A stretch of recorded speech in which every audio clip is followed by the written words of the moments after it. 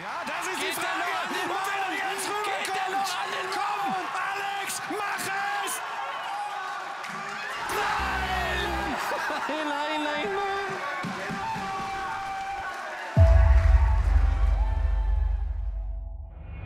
Ab morgen dann, wir schließen dann ab Dienstag alles, was im Bereich Freizeit und Freizeiteinrichtungen ist. Also Sporthallen, Sport- und Spielplätze,